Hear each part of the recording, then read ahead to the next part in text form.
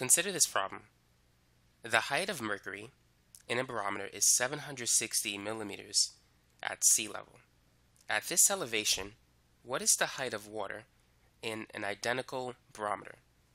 Now we're given the density of mercury, which is 13.6 grams per milliliter, and we're given the density of water, which is 1 gram per milliliter. Now 1 milliliter is the same as 1 cubic centimeter.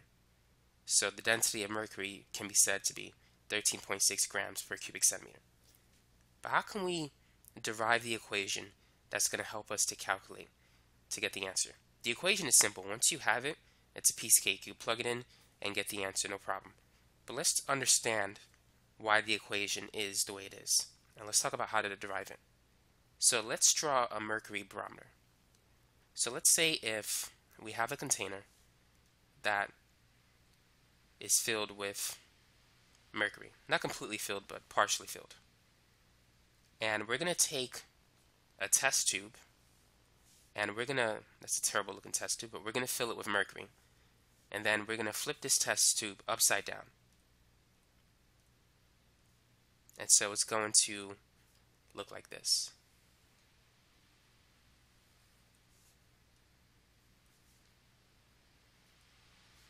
Now, inside here is going to be a vacuum. There's not going to be any air molecules there because when, when we place uh, mercury inside the test tube, it displaces any air molecules that was present. So that's a vacuum. So now we have mercury inside this container. Now, on the outside, we have gas molecules. And the weight of all these gases in the atmosphere will exert a downward force on the surface of that fluid. And the weight of mercury will also exert a downward force. And when the weight of the atmosphere equals the weight of mercury, then we have equilibrium. It's going to maintain a certain height. And that height is going to be 760 millimeters because that's the atmospheric pressure. At sea level, the atmospheric pressure is 1 atm, which is equivalent to 760 millimeters of mercury. So this will occur when the weight of the atmosphere, or the weight of all the gases in the atmosphere, is equal to the weight of all the mercury in this column right here. Above this point, but up to that point. Now let's do the same with water. So we're going to place some water in this container. And then we're going to take a test tube. We're going to fill it up with water and then place the test tube upside down. And the reason why we're doing this is to create a vacuum in this region. We don't want any gas molecules to be there, so that's why we need to do that.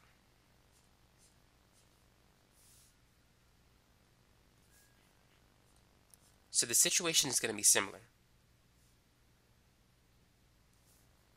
The weight of the atmosphere will balance out the weight of all the water in this column. So here's the weight of the atmosphere, and that's the weight of the water. When these two forces are balanced, this will not increase or decrease. If it starts too high, it's going to decrease until the weights are balanced. If it starts too low, it's going to increase until the weights are balanced. So it's going to reach a state of equilibrium. So that's going to happen when the weight of all the gases equal the weight of water. Gravity brings things down. So gravity is going to pull the gas molecules down on the surface of the fluid, and it's going to do the same with water. So when those two forces are balanced, then we're going to get a height of this water column. Now we know the height of the mercury column is 760 millimeters. What is the height of the water column going to be? Is it going to be more than 760 or is it going to be less than 760? What would you say? And what is the exact value that it's going to be? Well, since the weight of the mercury is equal to the weight of the atmosphere when it reaches its steady height, and since the weight of water is also equal to the weight of the atmosphere, we could say that the weight of mercury has to be equal to the weight of the water. So let's write that here. W of H2O has to equal W of Hg. Now, because I need space, I'm going to erase everything else.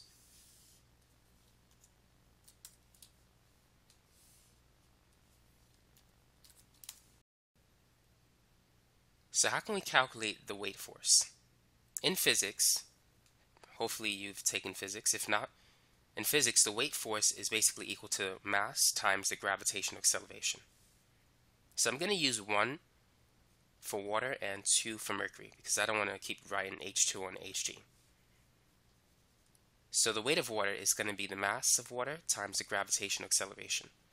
And the weight of mercury is the mass times g as well. Now, because these two have the same gravitational acceleration, we can cancel it. So the mass of H2O has to equal the mass of mercury. So M1 has to equal M2. Now, you know that density is mass divided by volume. So if we multiply both sides by the volume, we can represent the mass in terms of its volume and density. So mass is equal to d times v, density times volume. So I'm going to replace m with d1 times v1, and the other mass, m2, with d2 times v2. Let's get rid of that. Now, the shape of the test tube is basically, you can approximate it to the shape of a cylinder. Now, what is the volume of a cylinder? The volume of a cylinder, if you recall, is pi r squared times the height. So this is the height of the cylinder, and this is the radius of the cylinder. Now focus on the expression pi r squared. This is the area of the circle. So that's the cross-sectional area of that prism. So we can say that volume of a prism is area times height. So I'm going to replace V1 with A1 times H1 and V2 with A2 times H2. Now, for the test tube that contains the mercury, let's say it's this one, and the test tube that contains the water, they're basically the same because we're using the same identical barometer. The only difference is the height. The height of water will not be the same as the height of mercury. But because we're using the same test tube, the area should be the same. So we can cancel A1 and A2. They're equal to each other. And so now we have the equation that we need to calculate the height of water in an identical barometer. And here it is. D1 H1 is equal to D2 times H2.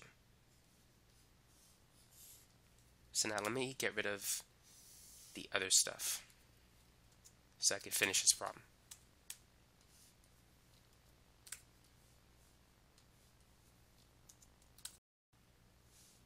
Now D1, that's for water. That's a density of 1. And we're looking for the height of water. D2 is the density of mercury. And H2 is the height of mercury, which is 760 millimeters. So it's going to be 13.6 times 760. So the height of the water column is 10,336 millimeters of water. So as you can see, it's very, very high. Now, if you want to draw a picture, let's say this is the mercury column. The mercury column is going to be relatively small compared to the water column. So if I drew another picture, we would need a much longer test tube, assuming that the area of the test tube is the same. We just have to increase the length of the test tube. Now, the right proportions are not accurately depicted in this picture, so it should be a lot taller. So here, the height is only 760 millimeters of mercury, but here, the height is 10,336 millimeters of water. Now, just to get that number in perspective, let's convert that to feet. One meter is equal to a thousand millimeters. And one meter is equal to 3.281 feet. So these units cancel and the unit meters cancel as well. So it's 10,336 divided by 1,000 times 3.281 feet. So the height of the water column is about 33.9 feet tall. So that's about three stories high, maybe up to four stories high. So this is very, very tall. So as you can see, it's impractical to try to measure the atmospheric pressure with a water column because the water column has to be very tall for you to accurately measure it. And so you don't want to use it. So as the density of the substance decreases, the height increases. So if we use a low density fluid like water, we need a very, very high column. However, if we use a high density fluid like mercury, the column doesn't have to be so high.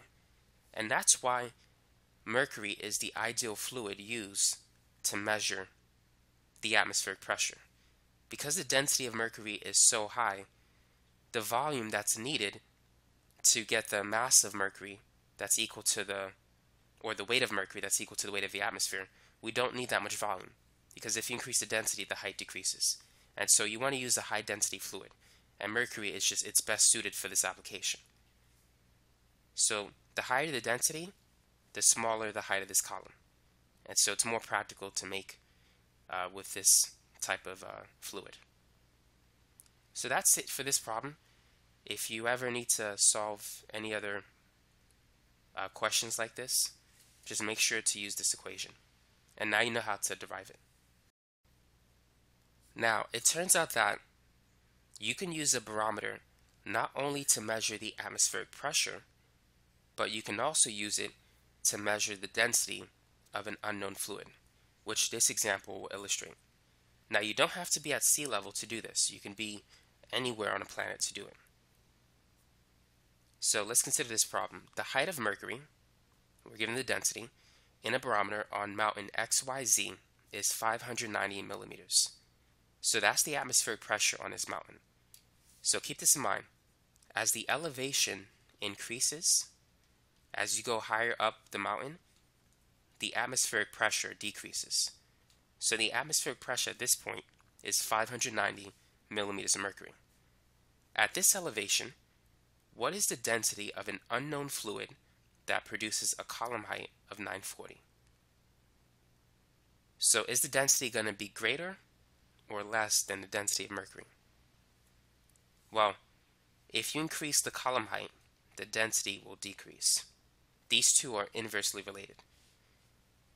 So because the height of the column is larger, the density of this unknown fluid is going to be less than the density of mercury. It's going to be less than 13.6. So let's go ahead and calculate it using this formula. D1H1 is equal to D2H2. Let's say that D1 is the density of mercury and the height of it is 590 millimeters. Now I'm going to put the units here so you can see how it works.